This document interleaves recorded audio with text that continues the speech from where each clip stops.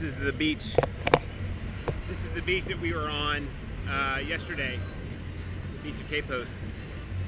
Over there is Manuel Antonio uh, National Park. In the mountains in the background. There's some of these little rock islands are also part of the whole dealio. There's the harbor which we came out of.